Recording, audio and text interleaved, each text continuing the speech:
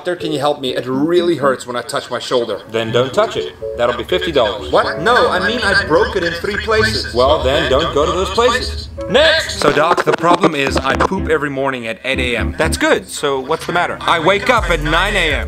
All right. I have bad news and I have worse news. The bad news is you have 24 hours to live.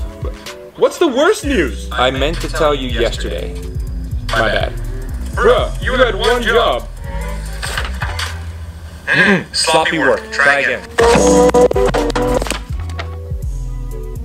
Mm. Absolutely perfect. You're well on your way to becoming a good doctor. Thanks for getting there so fast, Doctor. No problem, sir. So what seems to be the...